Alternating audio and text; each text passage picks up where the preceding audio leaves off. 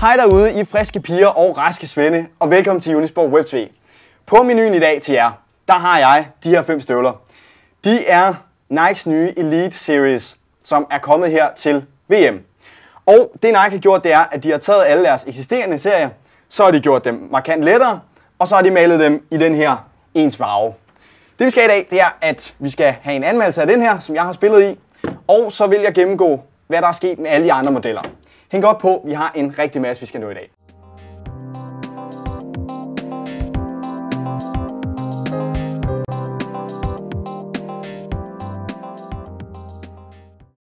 Den første støvle, vi skal kigge på i dag, det er CTR 360 Maestri Elite, som den så fint hedder. Jeg vil generelt ikke komme ind på, hvad den her støvle kan i dens oprindelige udgave. Vi har lavet afsnit tidligere, hvor jeg også anmelder den. Det kan I eventuelt se, hvis I vil have yderligere information. Det vi skal fokusere på i dag, det er ændringerne ved de her støvler. Det, der springer først i øjet, det er naturligvis farven her. Det er en farve, som alle Elite-modellerne har fået. Og det udspringer af, at Nike de har leget med tanken om, at man, når man spiller, bruger sit perifære syn 80% af tiden. De tænker, at øh, når man bruger øjenperiferien, jamen så, er det, øh, så opfanger man især farver og bevægelse. Og med den her noget hissige farve, jamen der skulle støvlen være lettere at spotte.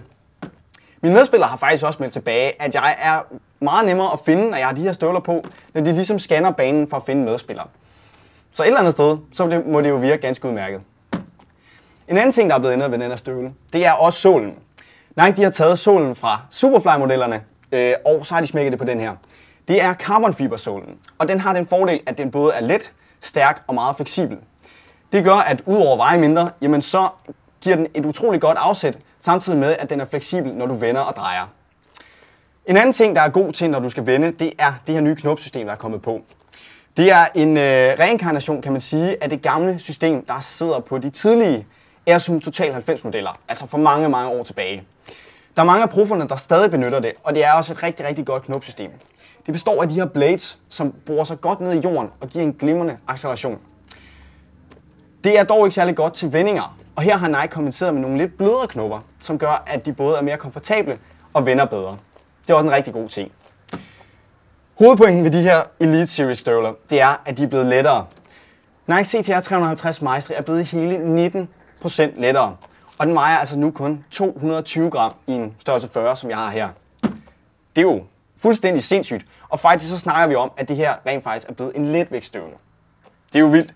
Man får således både komfort, touch og lidt væk i samme støvle. Jeg har været ret vild med at spille i den her, og øh, den kan virkelig konkurrere med den oprindelige Superfly-model, fordi den bare har det hele. Super godt, og jeg kan virkelig anbefale den her støvle.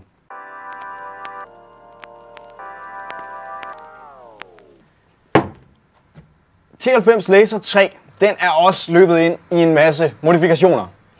Overdelen her, den er blevet skiftet fra at være af Kangalite materiale til at være det her Teijin mikrofiber, som Vapor og Superfly også er lavet af. Udover det, så har den fået fjernet syningerne. Simpelthen for at gøre støvlen lettere. Der er også blevet fjernet noget andet, nemlig den her massive hælkappe, der sidder på den originale model. Den er blevet integreret og øh, mindre, simpelthen for at reducere vægten. Man kan godt være lidt nervøs for, at det også går på kompromis med beskyttelsen, men da jeg ikke har spillet i den, så skal jeg ikke helt kunne sige det. I hvert fald så vejer den markant mindre på grund af det her vægttab. Laser 3 har ligesom CTR 360 Maestri fået et nyt knopsystem. Den har skiftet de gamle knopper ud med det her øh, velkendte T90 og Volt knopsystem. Og øh, det virker også, ligesom på CTR 360, rigtig, rigtig godt. Jeg er bare lidt skeptisk, fordi det gamle Laser 3 knopsystem, det var helt fantastisk. Så hvorfor ændre det? If it ain't broken, don't fix it. Vægten på den her støvle, den er også blevet reduceret drastisk. Og den er blevet 16% lettere, den her. Det betyder, at Laser 3 den kommer ned og vejer 276 gram. Og for sådan en støvle af den her robusthed, der er det faktisk en forholdsvis lav vægt. En ting, man kunne frygte, det er, at den på grund af dens lave vægt ikke har samme pondus, som den havde før, og den bliver lidt mindre tankagtig, hvilket var en af dens forser før. Men man kan jo ikke få det hele jo, og den vejer ikke en skid.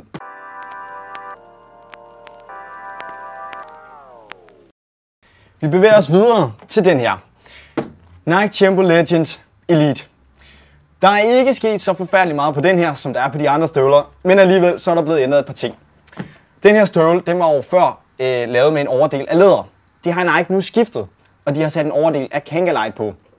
Det er jo den her øh, kanguruleder øh, emulering. Så den har de samme gode egenskaber fra læderet, men det er blevet mere vandtæt, så støvlen simpelthen suger mindre vand i våde forhold, og derved holder en lav vægt. Det må være meget positivt. Der er også kommet den her carbonfibersål på, så vægten er blevet minimeret, og fleksibiliteten er blevet øget. Den her har i modsætning til de to andre støvler stadig det gamle knopsystem på. Og det kan man sige, det er en ganske god ting, fordi det fungerer glimrende sammen med den her overdel. En god vægtreduktion, 16%, og den vejer 257 gram. Hvis man kan lide Kangalite, så er det bestemt en støvle, der er værd at kigge på.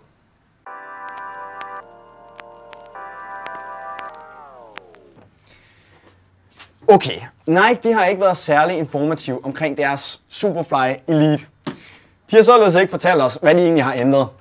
Men alligevel så har de smækket vægten ned med 5%. Det gør, at den her støvle nu vejer omkring 205 gram. Jeg tilskriver ændringerne, at de har fået en lidt tyndere overdel end på den oprindelige Superfly 2, og så at de har sat en lidt modificeret carbonfiberstål på. Knopsystemet er det samme, som der sidder på den oprindelige Superfly, og det er jo ganske godt. Lillebroren til Superfly, Nike Vapor 6, den ligner sig selv fuldstændig, udover at den har fået et andet paintjob, så at sige.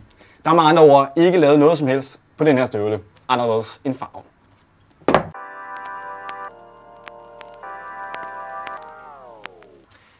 De her støvler fra Elite Series, det er alle sammen nogle meget eksklusive modeller, og de kommer i et stærkt begrænset oplag. Derfor er de fleste af dem også allerede udsolgt. Men det har heller ikke været Nikes intention, at alle skulle rende rundt i dem. De har snarere forsøgt at skabe en hype og ligesom vise, hvad de kan udrette med alle de midler, de har. Jeg synes, at det var sådan, de her støvler skulle have været lavet i første omgang, i deres oprindelige form. Super fedt, at Nike smider deres innovative Kangalite på Jumbo Legend.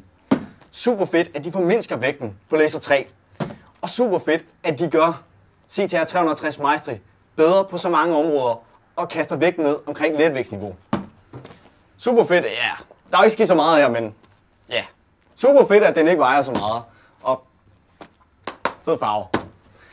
En anden ting, jeg tænker på, det er den her støvle.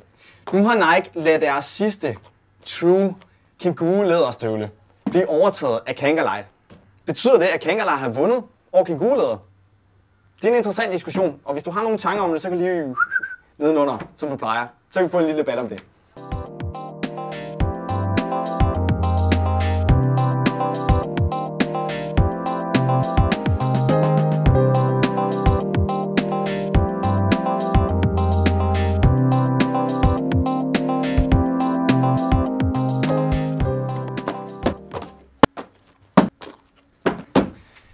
Dag der har vi set på de forskellige elite-støvler, der kommer i Nikes nye VM-serie. Vi har set på de forskellige ændringer, der er kommet, og vi har set set på den her. CTR 360 Maestri Elite.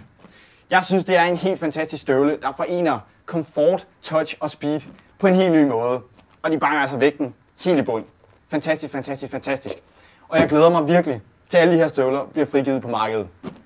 Har du nogle tanker om konceptet som helhed? Synes du, det er super fedt og, øh, og rigtig, øh, rigtig god tankegang? Eller synes du, at det er lidt overhypet og øh, rigtig whack? Jamen, øh, skriv til mig, og så øh, må vi se, hvad der sker. Jeg har ikke mere for i dag. Jeg har bare at sige, at øh, vi glæder os til VM, og øh, så må vi se, om vi kan se nogle af de her støvler på fødderne alle nice stjerner. Ha' det godt så længe.